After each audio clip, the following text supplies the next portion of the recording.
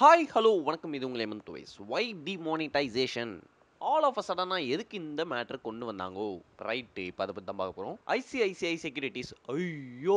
அப்படின்ற அளவுக்கு ஒரு ப்ரெடிக்ஷன் ஒன்று பண்ணிடுறாங்க. என்னன்னு பார்த்தீங்கன்னா இந்தியாவில் மட்டுமே நாலு லட்சத்தி அறுபதாயிரம் கோடி பிளாக் மணி இருக்குதான். அதாவது four point six lakh crore rupees பார்த்தீங்கன்னா ஆல்மோஸ்ட்டாக twenty five percentage of Indian money black மணியாக உலாவின்னு இருக்குது. இந்த பிளாக் மணி பொறுத்த வரைக்கும் நாட்டுக்கு நல்லதில்ல இந்த பிளாக் மணியை இந்தியாவிலேருந்து எப்படியாச்சும் ஒழிக்கணுமே அப்படின்னு மோடி யோசிச்சுனே இருக்கும்போது ஒன் ஃபைன் டே இந்த month of July two thousand sixteen Anil Bokil அப்படின்றவர் மோடியை போய் பார்த்துக்கிறாரு த ஐடியா ஆஃப் டிமோனிட்டைசேஷனை ஃபுல்லாக எக்ஸ்பிளைன் பண்ணிக்கிறார். இந்த திட்டம் நல்லா இருதே அப்படின்னு யோசிச்சுனே லைட்டாக கிரவுண்ட் ஒர்க் பண்ணிக்கிறாங்க. டொபுகிடின்னு போடுறான் மண்டமலை குண்டுன்ற மாதிரி நவம்பர் எட்டாம் தேதி இதை லான்ச் பண்ணிட்டாங்க. சரி பச்சையாக கேட்குறேன் இதனால் என்ன யூஸ் இதுக்கான பதில் என்னென்னு பார்த்தீங்கன்னா முதலாவதாக கள்ள நோட்டுகள் ஒழிக்கப்படும். இந்த ட்ரக் மாஃபியாலாம் ரொம்ப கம்மியாயிடும். டெரரிஸ்ட்டுக்கு போகிற ஃபண்டெல்லாம் கம்மியாயிடும். அது எப்படின்னு பார்த்தீங்கன்னா அன்அக்கௌண்டட் மணி தான் டெரரிஸ்ட்டுக்கு ஃபண்டாக போய் இருக்குது. இப்போ அன்அக்கௌண்டட் மணியே இல்லைன்னும் போது டெரரிஸ்ட்டுக்கு ஃபண்ட் இல்லை.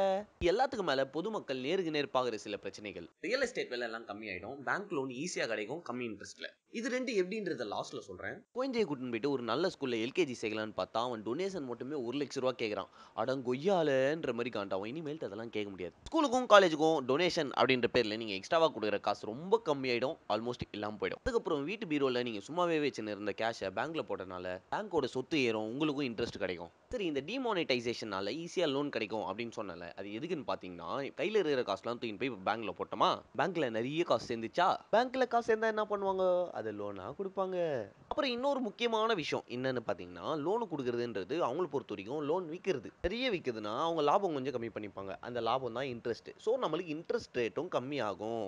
பிளாக் மணி பற்றி பேசினே இருக்கும்போது நடுவில் ஒரு இடைக்கருத்து வரும். சரி பிளாக் மணி வாங்குறவங்க எல்லாருமே காசாவாத வச்சுக்கிறாங்க. மேக்ஸிமம் எல்லாமே ரியல் எஸ்டேட்டில் இன்வெஸ்ட் பண்ணுறாங்க அப்படின்ற மாதிரி ஒரு ரிப்போர்ட் இருக்கு. அப்படின்னும் போது இந்த டிமானிட்டைசேஷனால அவங்களுக்கு எந்த பிரச்சனையும் இல்லையே. அதுக்கு பதில் என்னன்னு பார்த்தீங்கன்னா லேண்ட் அப்படின்ற ஒரு விஷயத்தை பொறுத்த வரைக்கும் இண்டெக்ஸ் வேல்யூ கிடையாது. ஏ என்னடா என்னென்னவோ சொல்ற?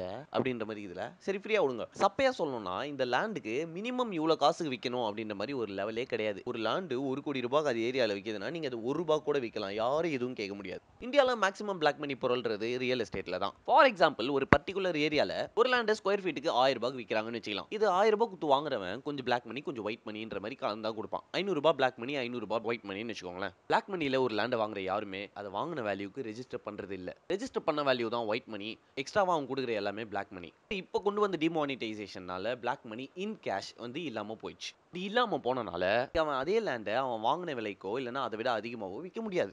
யாருக்கிட்டையும் எக்ஸ்ட்ரா கொடுக்க காசு இல்லை. அப்படின்னும் போது அந்த லேண்ட் வேல்யூ கம்மியாயிடுச்சா? வாங்க யாருமே இல்லைன்னும் போது கண்டிப்பாக அவன் விலையை குறைச்சி தான் ஆகணும். இப்போ இந்த மாதிரி அந்த ஏரியாவில் இருக்க எல்லாருமே குறைக்க ஆரம்பிச்சிட்டாங்கன்னா அந்த லேண்டோட வேல்யூ கம்மியாயிடும். சரி இப்படி வச்சுக்கலாம். கோபாலு ஒரு கோடி ரூபாய்க்கு ஒரு லேண்ட் வாங்கிக்கிறாரு. இதில் தேர்ட்டி லேக்ஸ் பிளாக் மணி இப்போ இந்த டிமானிட்டைசேஷன் வந்துச்சு. இப்போ நாளைக்கே கோபால் அந்த லேண்ட் விற்கணும்னு நினச்சாருன்னா ஒரு வாங்கின அதே ஒரு கோடி ரூபாய் குத்து வாங்குறதுக்கு எவனும் கிடையாது. வேற வழியே இல்லாமல் நம்ம கோபால் விலையை குறைச்சி ஒரு எழுபது லட்சத்துக்கு அதை விற்றலான்னு முடிவு எடுத்துறாரு அதாவது அந்த லேண்டை வாங்க அவர் எவ்வளோ ஒயிட் மணி போட்டாரோ அந்த விலை. ஸோ இந்த இடத்துல அந்த பிளாக் மணிக்கான வேல்யூ இல்லாமல் போயிடுச்சு. அப்படின்னும் போது abolition of the black money hence verified இத்தனை நல்ல விஷயங்களையும் லைனாக நிற்க வச்சு பார்த்ததுக்கு அப்புறம் தான் இந்த டிமானிட்டைசேஷன் அப்படின்ற ஒரு கான்செப்ட் அமலுக்கு வந்துக்குது.